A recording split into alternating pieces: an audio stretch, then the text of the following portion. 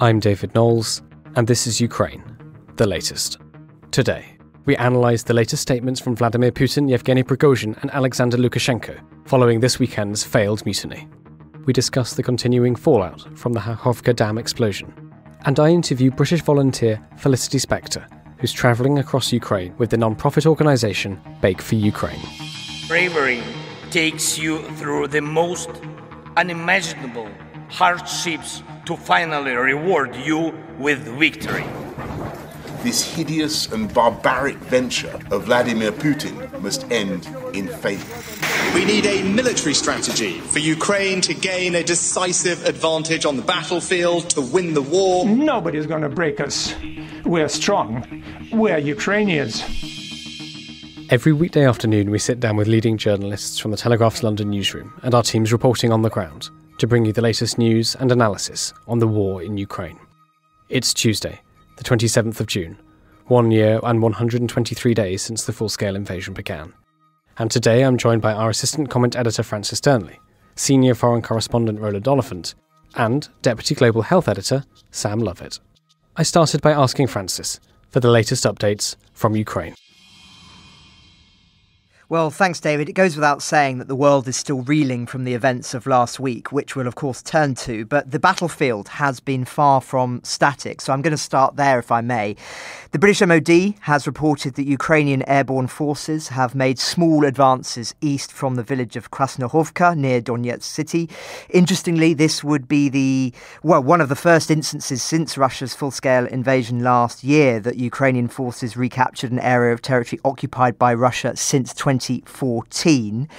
The MOD also indicates that Russian forces likely lack operational level reserves that could reinforce against simultaneous Ukrainian threats on multiple areas of the front, chiefly Bakhmut and southern Ukraine. Now, on that subject, according to the Institute for the Study of War, Ukrainian forces have made progress into sectors. Alexander Syrskyi, the commander of the Ukrainian Eastern Group of Forces, announced that Ukrainian troops successfully cleared a Russian bridgehead across the Donbass Canal in the Bakhmut direction. Additionally, Russian bloggers claimed that Ukrainian forces made advances southwest of Bakhmut. Now, Russian sources have seemingly confirmed that Ukrainian forces are continuing their counteroffensive operations in the administrative border around and between Donetsk and Zaporizhia oblasts. The Russian Ministry of Defense asserted that Russian forces repelled Ukrainian ground attacks in the south of Orikhiv in western Zaporizhia Oblast Yet Colonel Valery Shershin, spokesperson for the Ukrainian soldiers in that region, has stated that Ukrainian forces have advanced approximately one and a half kilometres in an unspecified area of the Zaporizhia direction. Now, if true, that would mean that Ukrainian forces have effectively recaptured 130 square kilometres of territory in southern Ukraine since the beginning of the counteroffensive.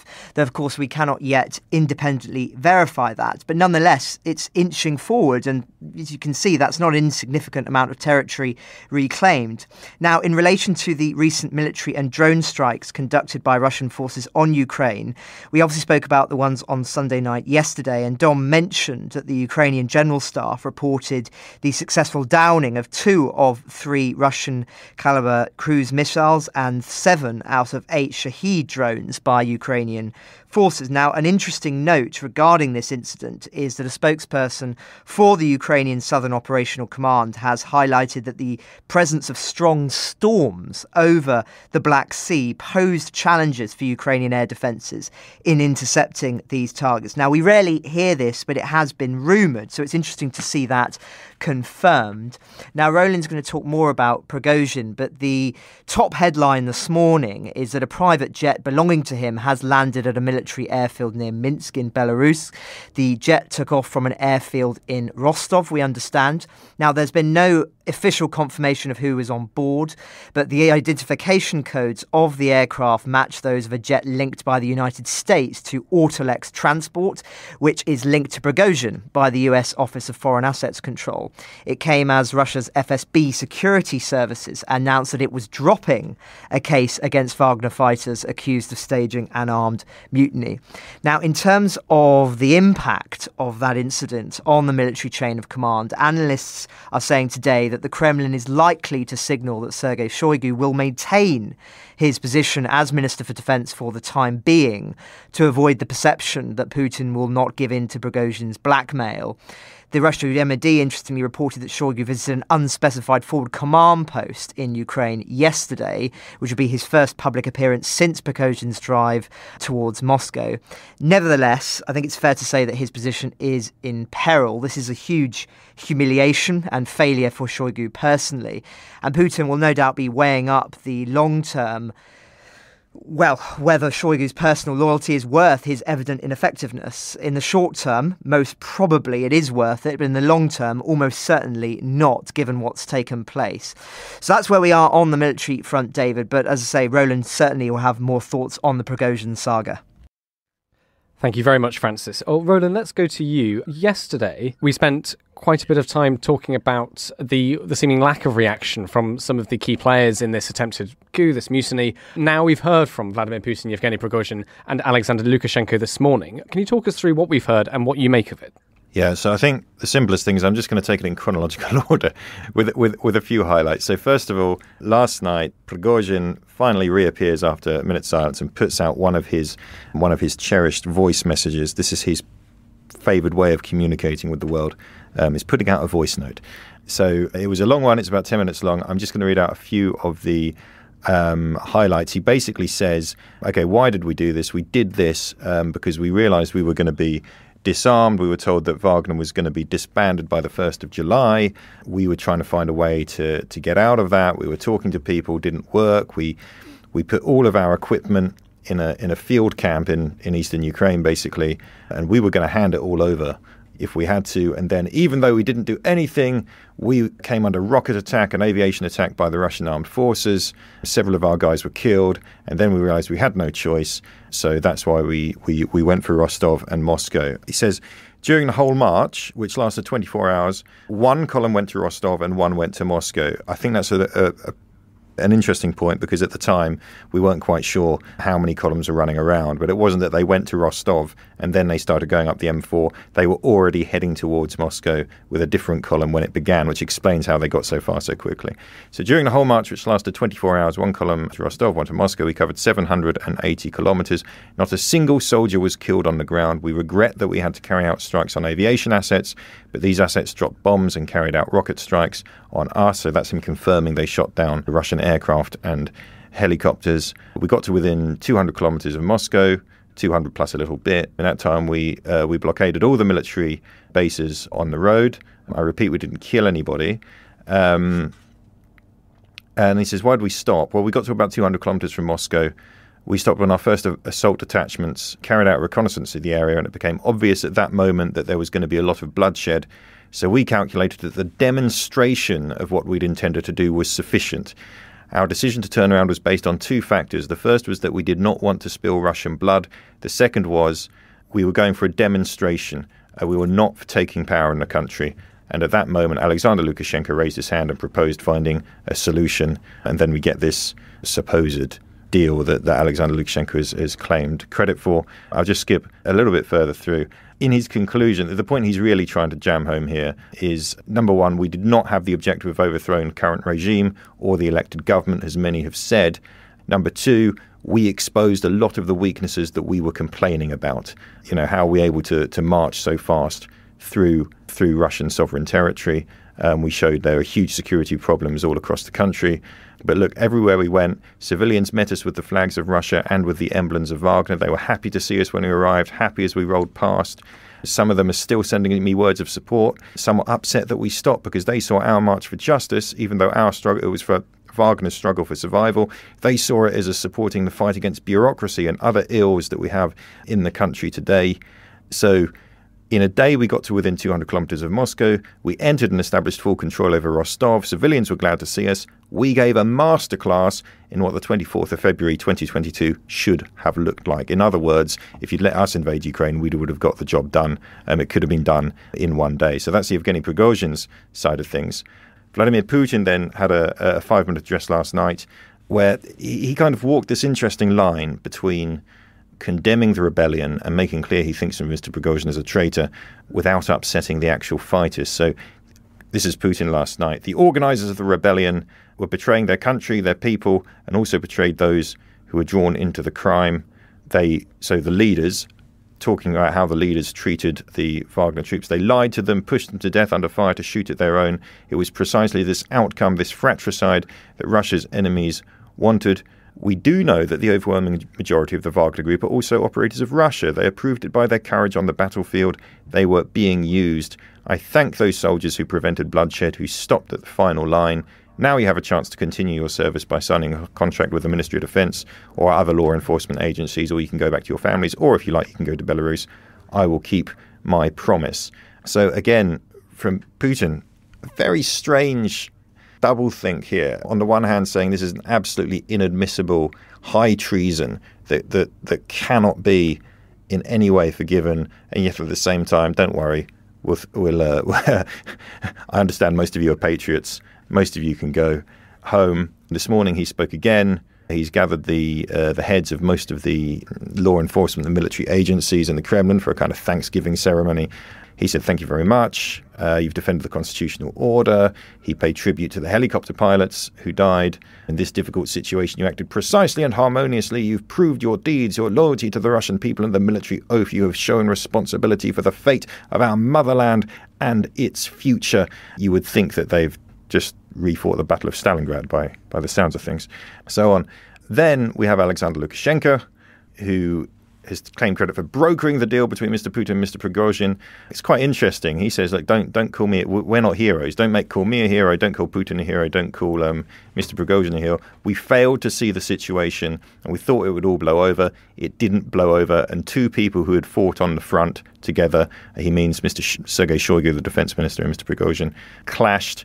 There are no heroes in this situation. He also says, I gave the order to bring um, Belarus's army to full combat readiness when this was going on. And he also says that, look, if Russia collapsed, then we will all die. The West would take advantage of it. So, very much kind of harnessing himself to the future of Putin's Russia there. There's one more thing. I know been going on, but a lot have been speaking.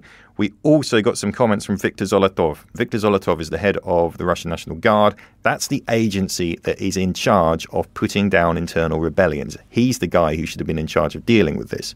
Now, he spoke to some Russian media after this ceremony at the Kremlin today, and he said, they said, well, how, how did these guys get so close to Moscow? He said, well, we were concentrating our forces on the outskirts of Moscow because if they were spread out, the mercenaries, quote, would have cut through them like a knife through butter. They said, well, if they if they'd carried on, would they have got into Moscow? He said, yes, they would have approached Moscow, but they would not have taken Moscow. Um, and he also claimed that the mutiny, they knew the mutiny was going to happen. They had intelligence about it from people within Wagner, but events moved so fast they were unable to stop the, the fall of Rostov. And he also claimed that um, the military acted excellently. Everything was wonderful. In Dom's words, I'll take a pause there. Um, Thank you very much for that, Roland. Can I ask you now we've heard from the unlike yesterday, now we have heard from the sort of key players in this drama. How now we're several days on as well. How has all this informed your thinking as to what exactly went down? What exactly happened on, on Saturday? I mean, I'm just thinking in terms of James Kilner came on yesterday and advanced quite tentatively some of his thoughts that he, he sort of thought that it might be a accidental coup that really what Prigozhin was trying to do was yeah demonstrate demonstrate force, bring Putin to the negotiating table and get what he wanted, and actually found that the road to Moscow was unguarded and he could just carry on and then suddenly didn't know what to do. That's that's I'm sort of summarizing it slightly, but that was James's thoughts on that. How now we've heard from the, the key players. What do you think happened? I mean, the way it's worked out is as a mutiny rather than as a coup, and, and by a mutiny I mean, yeah, like like a military protest, military industrial action, and this is. Um, the Royal Navy actually had a very a very strong tradition of this until recent centuries. Sailors would mutiny, but it meant going on strike because they were unhappy with conditions, things like that. And it was it was almost understood that this was something that could happen and things would be resolved and ringleaders would probably be hung. But but nonetheless, um, it obviously wasn't a, an attempt to you know challenge power and things like that. I must say I'm not convinced by that. I think as soon as you have a man in military uniform who has sent a flying column up the road towards Moscow standing in front of a camera saying this is not a coup. Uh, I'm afraid that you know it sets alarm bells ringing in my head. However, it turned out, it did turn out that way. I don't know. I mean, I, I, I have a feeling that there were definitely ambitions. If you start driving up towards Moscow like that, um, you know, see how far it goes. Maybe James is right. Maybe they didn't realize it would go so far. But from what Mr. Prigozhin said, he'd already made that decision to go towards Moscow straight away. Right. So we're going to seize Rostov. They obviously wanted to arrest uh, Sergei Shoigu and Valery Gerasimov, the, uh, the head of general staff. And Prigozhin said that oh, Gerasimov got away uh, before we could get here when he got to Rostov. So he was seeking to arrest top level members of the of the military establishment, and and you'd have to be maybe he is quite dumb, but I mean, how you could possibly conceive of doing that as not challenging Vladimir Putin's authority, I don't know what planet you're on. So I personally think it probably was a coup attempt, or whatever you want to call it. Vladimir Putin clearly won. Sergei Shoigu clearly won. However, these guys have the leverage not to wind up executed, shot, wiped out, and going into exile, at least for now. And I think that that that says a lot. I think even though it's quite clear that the Russian establishment has won, that everything that was meant to happen happened. Nobody came out for Prigozhin. Everybody came out for, for the Kremlin and Mr. Putin. It has exposed weaknesses. One of the weaknesses is that Rosgvardia was not capable of taking on an outfit like like like Wagner. And Mr. Zolotov said this morning, yes, I was talking to the president about that. We are going to get heavy weapons, tanks, that kind of thing.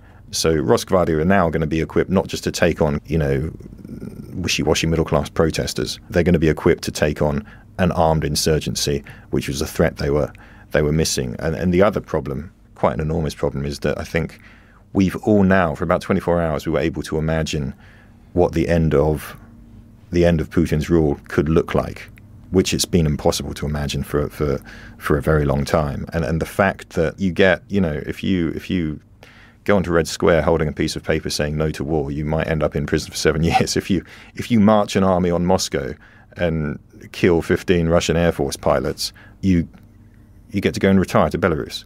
That that tells you something, I think, about about the way things work there and about the security of the regime. So my bottom line, I don't think this is the fatal crack in Vladimir Putin's authority that it looks like, but I, I, I definitely think it's a very significant earthquake, if you see what I mean. Thanks, Roland. I'll come back to you later if that's all right, because I want to ask just a couple of questions about what you think this means for Alexander Lukashenko and Belarus. But first, I know we want to get on to Sam Lovett. So, but before that, Francis, can you talk us through some of the political updates that you've been looking at? Well, thanks, David. I just want to echo Roland's analysis there. You don't march on Moscow, a city that has such huge symbolic and historic resonance, somewhere that's resisted invasions numerous times in Russian history, and not know that it's going to be interpreted as a coup. I keep thinking back to that children's book Prigozhin wrote that had the plot line of a man who tries to overthrow the king that's been there too long. One can't help but think in that context that he may have been romanticized about doing something like this for a, a very long time indeed. But I'm sure we'll have more thoughts on that throughout the week. We've discussed the potential strategic implications of Prigozhin's actions on the bonus episode that went out on Saturday. But another area we didn't touch on then that is worth underlining is the economic impact of it. Szu Chan, of course, a regular on the pod, uh, economics reporter for us, head of economics coverage on these matters, has written an interesting piece on how Wagner's attempted mutiny has put wheat prices on course for their biggest monthly gain in eight years.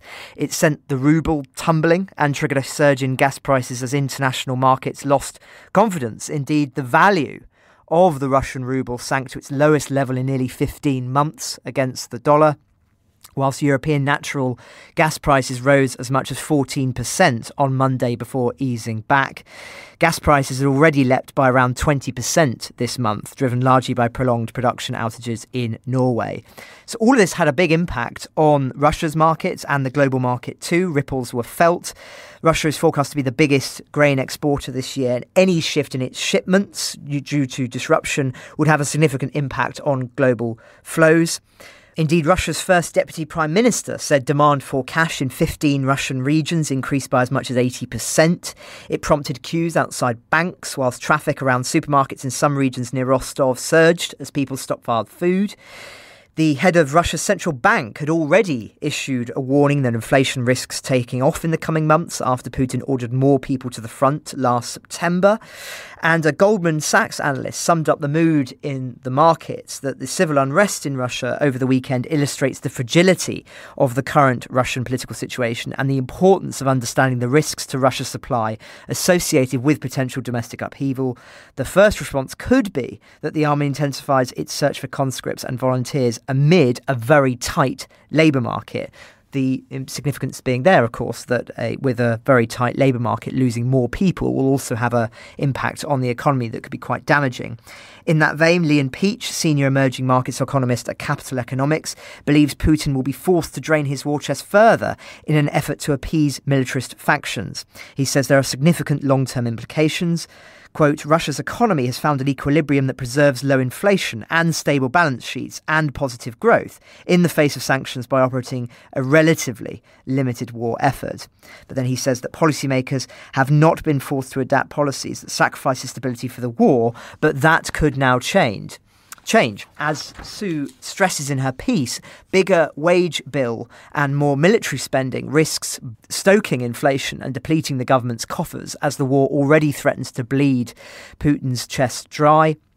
Russia's deficit in the first five months of this year stood at $14.9 billion. That's come from the Russian finance ministry. Now, of course, we don't always trust their figures, but nonetheless, it's quite a major admission, even if those figures are massaged, with spending 26.5% higher year on year. Income was down 18.5%, whilst the surge in oil prices boosted Moscow's finances at the start of the war. There's now heading in reverse. Russia's national wealth fund stood at around 155 billion at the start of this month, compared with 175 billion at the start of this war. Again, that's according to the country's finance ministry. So all is not merry in the Russian finances. And there is an irony here that Russia has managed to keep its economy afloat despite international sanctions, yet has now been harmed by internal rather than external forces. So we'll be monitoring that very closely. And I know that we've had considerable debate on this programme about whether economic impacts of sanctions have really been felt in Russia. And it did, does seem that in the long term, the picture may not be rosy, but in the short term, Russia has been able to keep things relatively afloat. But as I say, though, this will trigger some major question marks, and there'll be a lot of economists who are now looking at the long term implications of the shock caused by Prigozhin's actions. Now, two very other brief political stories. We've talked a lot about the F 16's question, and an international program to train Ukrainian pilots to fly F 16 fighter jets is now being drawn up by Western countries. And the length of such a course could vary depending on pilots' prior training and language skills. That's coming out of Denmark today. So, Denmark and the Netherlands are now leading efforts by the international coalition to train pilots and support staff, maintain aircraft, and ultimately supply F 16s to Ukraine and defend uh, Denmark's defence ministry has said in a statement to Reuters that the dialogue and planning of this is still ongoing, which is why there is no final plan yet. And as we discussed last week, it is clear that one of the reasons the counteroffensive has not been as successful is the relative air superiority of Russia.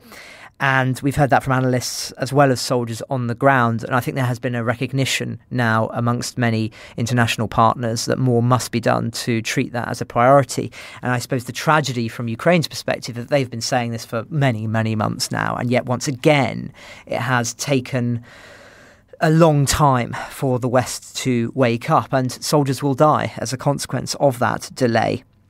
Now, lastly, just a story from the UN. They've mon- been monitoring the impact of civilians, of course, since the war began, and have said that Russia has detained more than 800 civilians since February last year, of whom 77 were executed. The report showed too that Ukraine has violated some international law by arbitrarily detaining, detaining civilians, but on a considerably smaller scale. So this is a quote from the report. The UN identified patterns of conduct which have resulted in arbitrary detention, as well as further human rights violations, including torture, ill treatment, and enforced disappearances. Whilst such contact was found in relation to both parties in the conflict, there was far greater prevalence of conduct attributed to forces of the Russian Federation. Now, I'm going to return to this subject again in the next week or so because I think it's a very important one. And if anything, I think these numbers are much lower than perhaps uh, is the reality. Certainly, according to our reporting, I believe these are much lower. But of course, it takes a lot to stand up the numbers concerned. And so I think that once we have a clearer picture of certain areas, of course, being liberated as well, those numbers will increase. But these will be the verified figures that the UN has been able to get confirmation of as far as this, of course, tragic situation is concerned. But that's where we are in the political realm, David. Thank you very much, Francis and Roland. Roland and Francis will come back to you. I'd like to turn to Sam Lovett, Deputy Editor of the Telegraph's Global Health Securities Desk. Sam, thank you so much for joining us. You've written quite a long read for the Telegraph website about what you call Ukraine's toxic water crisis. It's a, it's a fascinating read. I'd, I'd uh, advise everybody listening to go and read it. Could I start by asking, because one point you make fairly early on is that even before the destruction of the Kakhovka Dam in southeastern Ukraine, uh, Ukraine was suffering with uh, water quality and, and, and had a water crisis. Could you talk a little bit about how the war has impacted that aspect of, of, of Ukraine's ecology? And then we can talk a little bit more about the dam later. Sure, yeah. It, it was quite an interesting um, turn of events, really, in, in the sense that it, it was a piece that I'd been looking into, researching before the dam was destroyed. And uh, from all the conversation that I, I'd, I'd been having with various experts, they were warning around the um, the various reservoirs on the river which were at risk of being destroyed and, and releasing sort of their water in, into farmlands, um, disrupting mines buried in the ground, etc. And that was just one aspect which they flagged.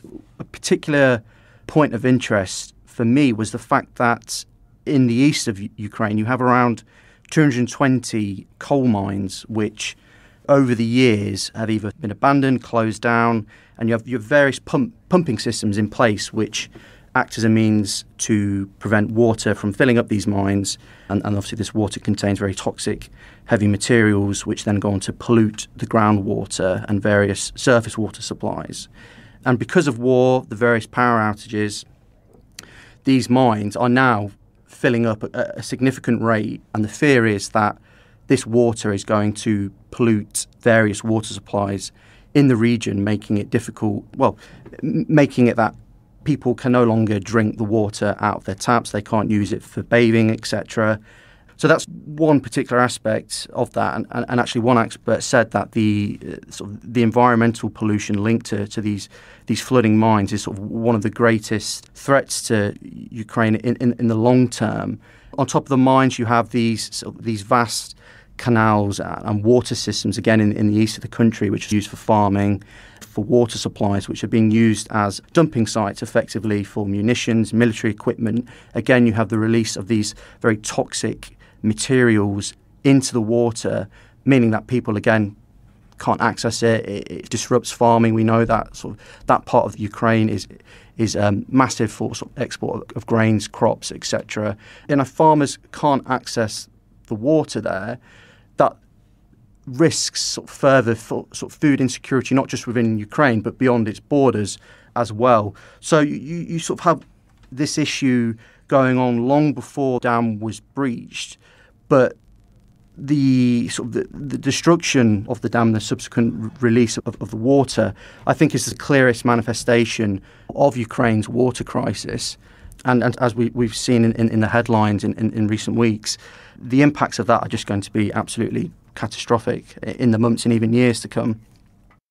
Thanks very much, Sam. Well, let's talk about that a little bit more. One of the quotes you've got in the piece from Professor Klement Tockner, Director General of the Senckenberg Society for Nature Research, he says it will require an immense global effort to clean up the water. I think we cannot even realize how huge the effort will be. Could you talk a little bit more about that? I mean, I was struck by several conversations I was having in Ukraine over the past few weeks about about exactly this. That it's not completely understood how just how long it will take to to clean up the disaster after the destruction of the dam. Why will it take so long, and what will be the issues in the months and years to come?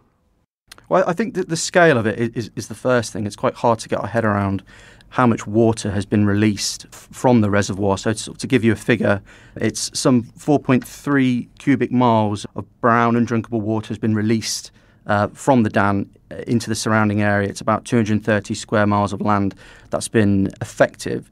So, first of all, you, you, you have the size of it. You have croplands which have been destroyed. You have chemicals from, from these cultivated fields being swept downstream. There's industrial waste that's been swept away from sort of nearby industrial plants. And then at least 150 tonnes of machine oil from the dam itself being distributed into the surrounding region. One point which I hadn't even considered, um, I, th- I, found particularly interesting, and, and this came from a, a Nature study from March 2023, that said the breaching of dams along the Dnieper River, up upon which the reservoir sits, poses a danger of secondary radioactive pollution due to uncontrolled release of radioactive material accumulated in the sediments after the Chernobyl explosion. So you have this catastrophic event sort of 30, 40 years ago. Um, the impacts of that still potentially being felt today as a result of the breaching of the dam and the releasing of these radioactive materials in the river sediments. But one of the issues, uh, and it's a big issue, is that there isn't the ability to properly assess and determine the toxicity of um, waterways in, in, parts of Ukraine. So you do have this scenario where people are, are accessing water not knowing if it's toxic or not, if, it, if it's clean, etc. I, I, think sort of more in central Ukraine, there's, there's greater visibility on this issue. But in, in, the, in, those parts which are occupied by Russia, there is a complete lack of visibility around the issue. Finally, Sam, can we talk a little bit about uh, the parts of Ukraine that, even though no longer under Russian occupation, still struggling to access clean water? Uh, you, have written a little bit about Mykolaiv. Uh, Mykolaiv wasn't occupied, but it sits very close to the front line. What's their struggle like to access clean water in that city? Yeah, sure. So at, at the start of the war, as I understand it, you had pipes carrying water from the Dnieper River to Mykolaiv, which were destroyed and it forced the city to turn to another water source.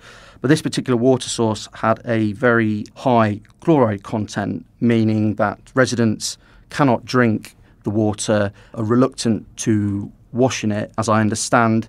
And, and it's so toxic that the, this new water supply is actually corroding pipes in the city. I think I spoke to one expert who said they typically they, they would have sort of two to three leaks to deal with at any given time, and, and now it's up to 15. So, th- so there's that particular issue. The, the city is proving robust. They're bringing in water tanks, as purified water distribution points. People are even digging wells to draw up water from groundwater supplies. So people are being smart about this.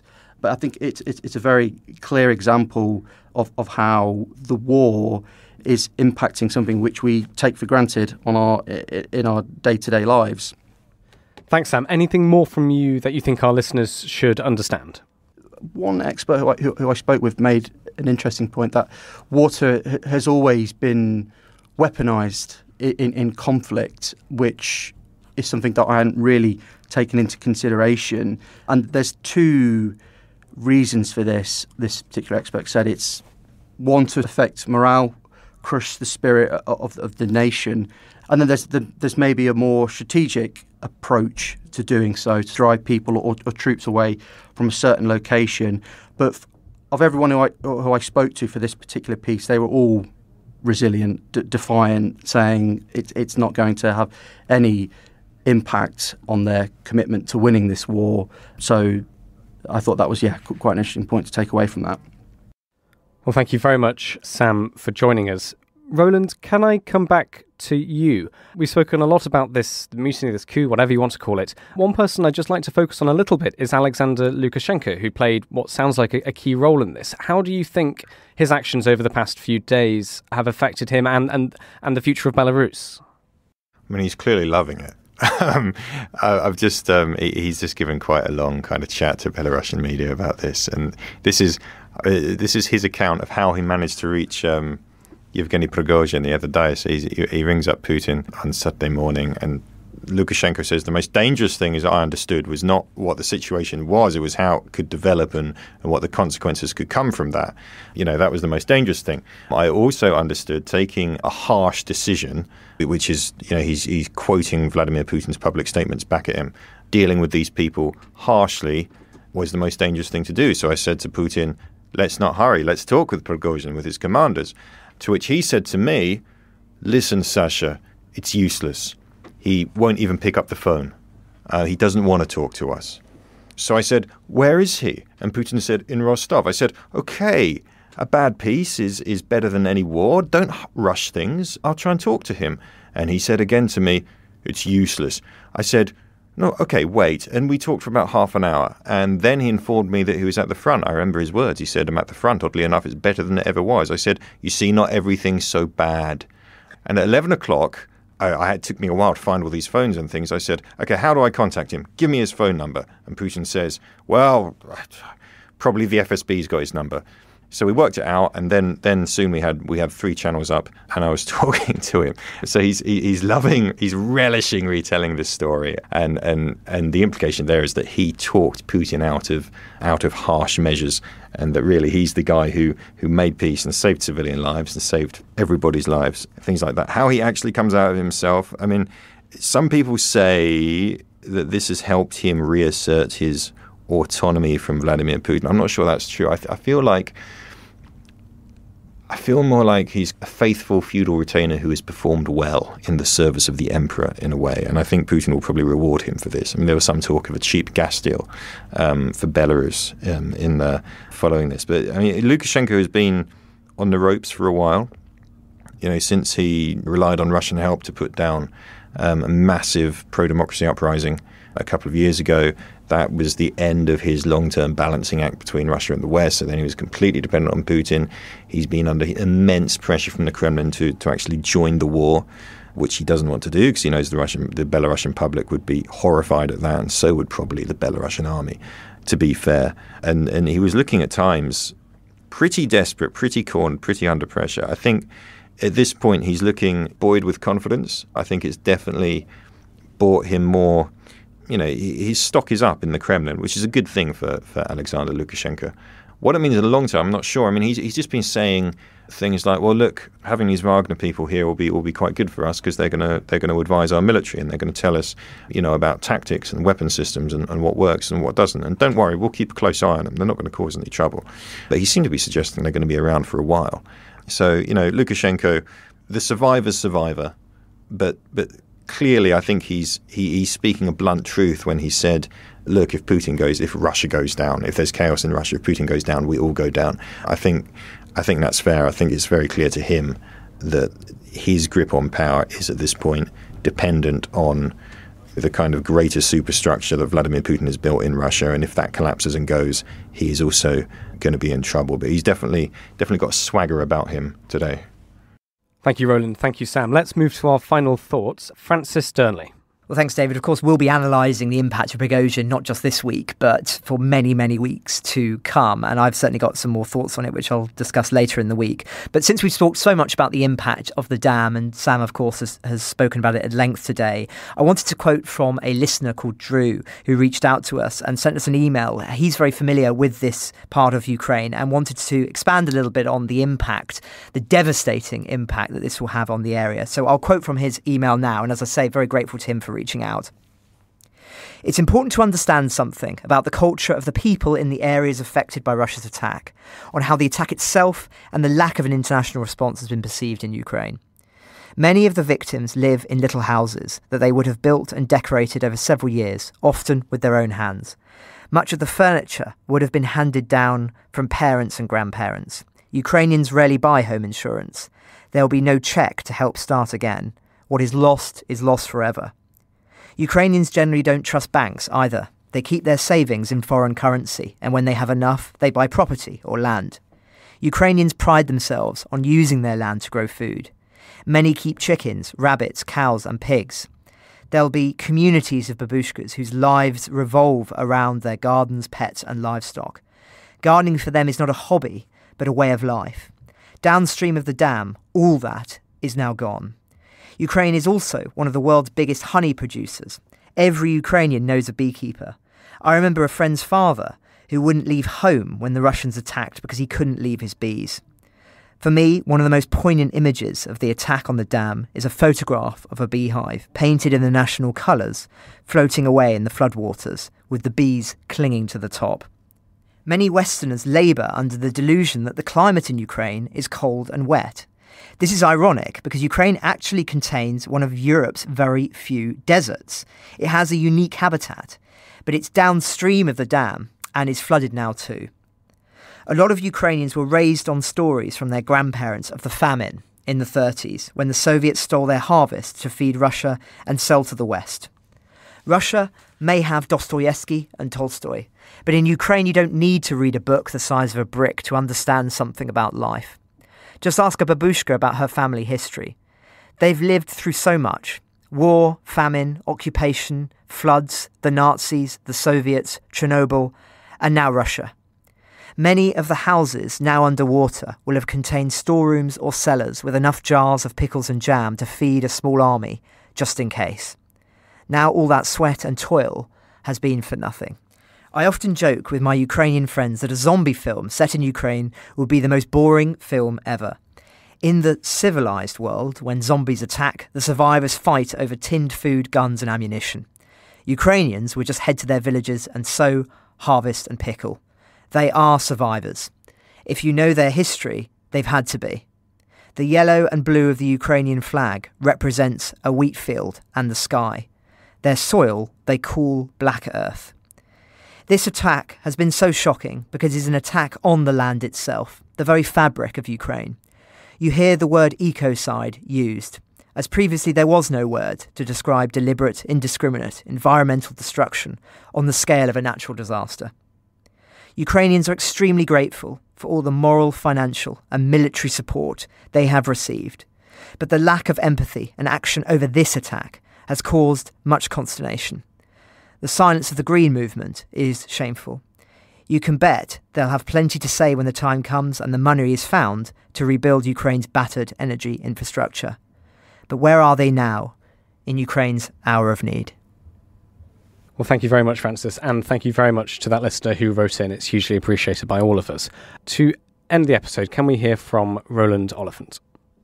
My, my last thought, since I've been so focused on it about this about this uprising, is something that Vladimir Putin said struck me last night. Last night he he thanked all of society for coming together to to, to face down this this internal threat.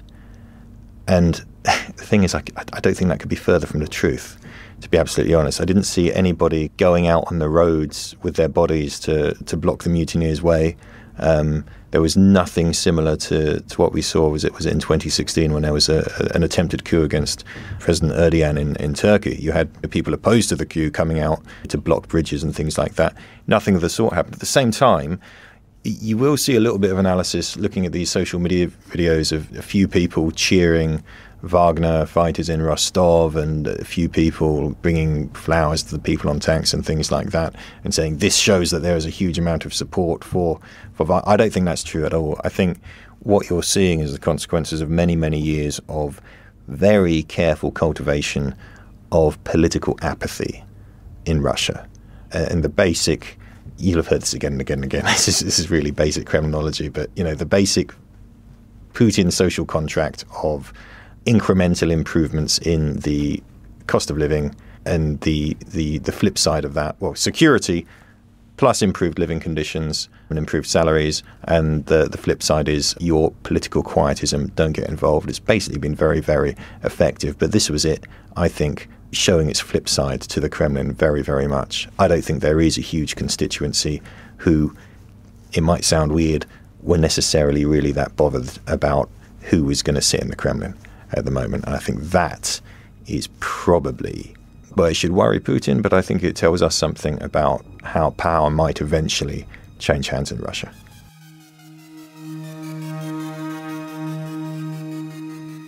Thanks, Sam, Dom, and Roland.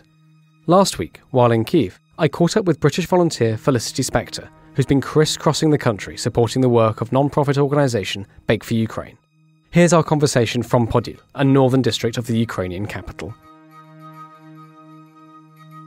Felicity, it's wonderful to see you again. It's uh, the last time we spoke, we were in the Telegraph's London offices. Now we're here in Podil, district of Kiev, on a beautiful summer's day.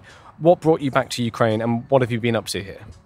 So I've been here for a, a, few weeks, basically with a group called Bake for Ukraine, which is a non-profit set up to support the work of bakeries around Ukraine, which give away free bread to people.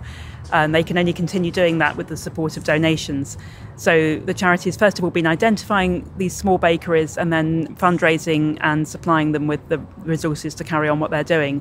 And we had a specific project. Um, Maria, who is one of the co-founders, had been trying to track down a big mobile bakery truck um, that she'd seen in use in Berlin and uh, knew that there were some of them in Ukraine and wanted to find one and help to get more fresh bread to people in places where they don't have access to all the normal facilities. There's no sh- a lot of places that are deoccupied territories and so on. There's no shops anymore. There's hardly any infrastructure left, and it's a big problem for people returning home apart from the mine danger, there's also the problem of not having anything to support daily life. What kind of impact do these bakeries have on the ground? How does it change the lives of the people who are, who are receiving this aid? I mean, for a lot of people, it's just, you know, it's a real struggle to keep going. And there's a couple of places I've been to. There's one in Odessa and another one in Kiev that I've visited, and one in Bucha. And when the Odessa one set up, they immediately allied with a number of local volunteer groups. Some of them distribute bread. They drive around to villages, and there are elderly people who can't get out, or families who just don't have any means of transport. A lot of people don't have their own cars, and it's very difficult for people to, to get fresh food. And bread is a really important part of life in Ukraine. And they all say, all these bakeries say, that when they see how happy people are to receive it, it it's so meaningful to them. You know, they've been working away often for no money or just living off their savings and so on. But it, it really means a lot to them when they can see how valuable it is to people to receive these, you know, these loaves of bread. What do you make of your Ukrainian contacts' sort of morale, what they think of the war so far? What have they been telling you this trip? Has anything surprised you? What surprised me is how people still have the energy to cope with. I mean, while we were here, the flooding, the Russian attack on the dam in Nova Kakhovka happened, and it was just yet another absolutely horrendous. And this is all the time while every night there were air raid attacks, and in Odessa particularly, they, that seems to be the new place the Russians want to attack three nights running there were explosions and um, air defence and a couple of uh, missiles came got, got through and there was a lot of damage caused to a university and offices people's flats one of the farmers that work with our group uh, he lives in one of the flats in the block that was hit and um, you know luckily he no one was hurt but all his stuff was trashed and covered in broken glass and um, he said I guess my morning bike ride is cancelled as he looked at his mangled bicycle in the hallway. And they still retain a sense of humour, which is absolutely incredible. But at the same time, it's so relentless. But immediately the Kherson disaster happened, people were like, right, okay, we need to focus on this. What can we do to help? We have a bakery in Kherson, which we were already trying to rush around and get aid for. She also coordinates local support groups and so on, the baker, and she sent us a list of stuff. Right, this is what people are going to need if you can get anything off this list to us, that would be fantastic. So we called in a few donations and things, and, and it, people are exhausted and tired, and they're also under attack themselves. But they know that there are a lot of people who are worse off. There are soldiers on the front. A lot of people have relations, and several people have said to me, "You might walk around Kiev and you might see people in cafes looking like they're having a nice time and they're sort of smiling, but you have no idea what's happening in their life. They probably have a husband or boyfriend or their father is on the front lines, and every morning they are hoping to receive a text from them saying they're okay, or they have had to move from somewhere where their home is destroyed. So, under the surface, there's a lot of trauma to process.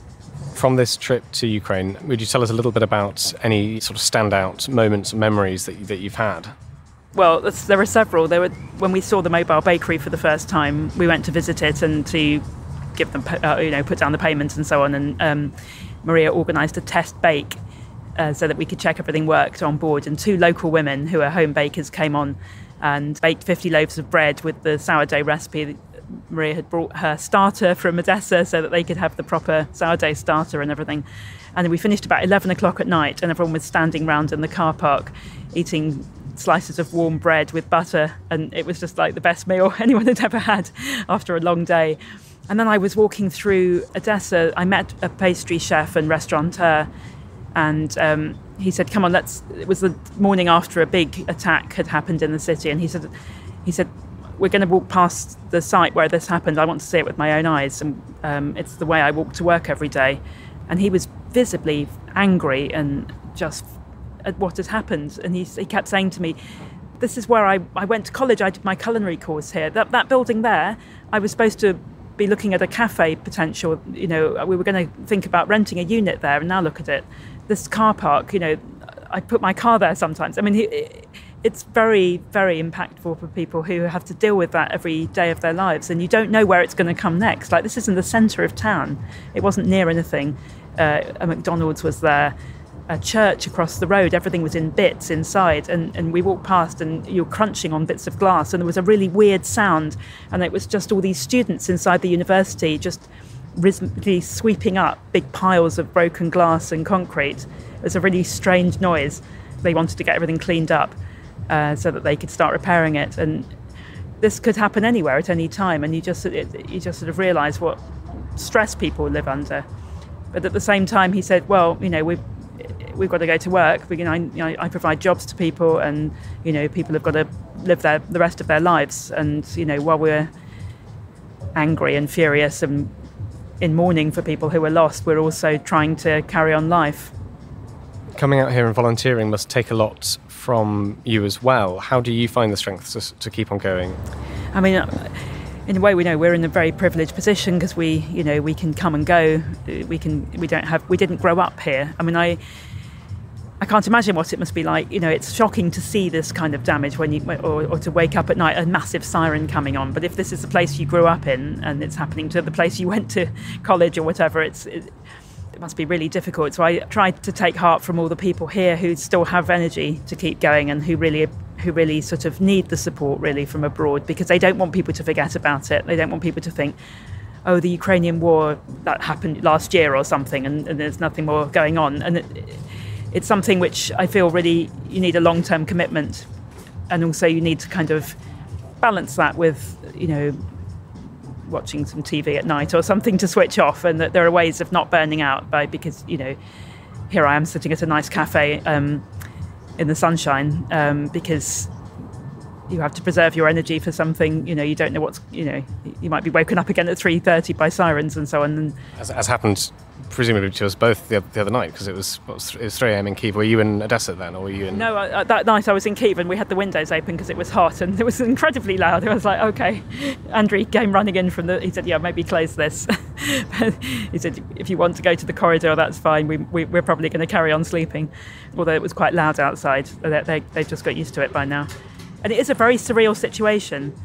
It's very hard to explain to people how that can happen in the middle of the night, and then in the morning you come out and go and buy coffee and carry on with the day. But otherwise, the country wouldn't function if everybody sort of spent the entire time hiding. But people know what they should do, and if it's you know, there's a, there's loads of Telegram groups telling you what's happening and whether there's a missile threat or whether it's some other city that's under threat or whatever. So, I think as once you come a few times, you get to know the ways of managing to get around more safely and, and sensibly.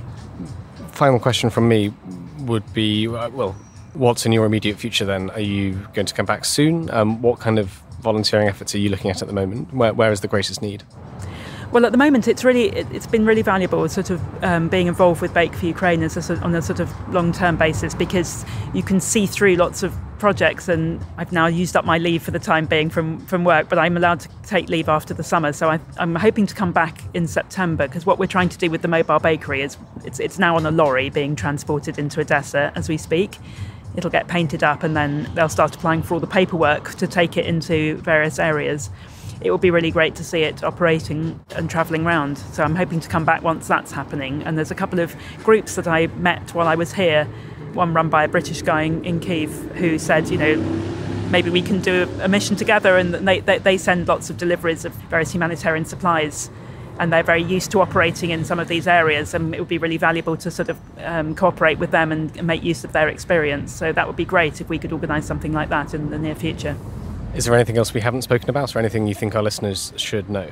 To just keep supporting Ukraine. It's just very important to people here to know that they haven't been forgotten about, that people still really care about what's happening and that they, they know the trauma that's that's still going on on a daily basis and want to keep standing with Ukraine because no one wants to feel forgotten about or on their own, especially when they are living this. And then there are just worse, you just think, what else can happen? Like this huge environmental disaster has just happened, and now people have to cope with that. And a lot of, like one of my best friends now that I've made here is is from that region, and you know she's just in pieces about it. It's it, you know it's impossible to imagine what's going on in a family like that. So really important to people not to forget and to keep supporting the charities or humanitarian groups or spread the word, whatever you, you feel you can do on social media. All those, you know, there's a lot of Russian propaganda. There needs to be a lot of truth telling as well, and people saying, no, this is actually what's happening. And there are just ordinary people here who are trying to live their lives and they never asked for this to happen to them. Thank you very much.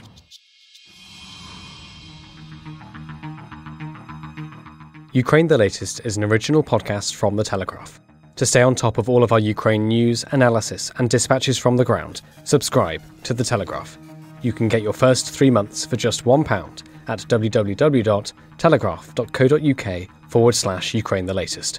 Or sign up to Dispatches, our Ukraine newsletter, which brings stories from our award winning foreign correspondents straight to your inbox. We also have a Ukraine live blog on our website, where you can follow updates as they come in throughout the day including insights from regular contributors to this podcast. You can listen to this conversation live at 1pm London time each weekday on Twitter Spaces. Follow The Telegraph on Twitter so that you don't miss it. To our listeners on YouTube, please note that due to issues beyond our control, there is sometimes a delay between broadcast and upload. If you want to hear Ukraine the latest as soon as it is released, do refer to podcast apps. If you enjoy this podcast, please consider following Ukraine the latest on your preferred podcast app, and if you have a moment, leave a review, as it helps others find the show. You can also get in touch directly to ask questions or give comments by emailing ukrainepod at telegraph.co.uk. We do read every message. As ever, we are especially interested to hear where you are listening from around the world. Ukraine the Latest was produced by Rachel Porter and Giles Gear, and the executive producers are David Knowles and Louisa Wells.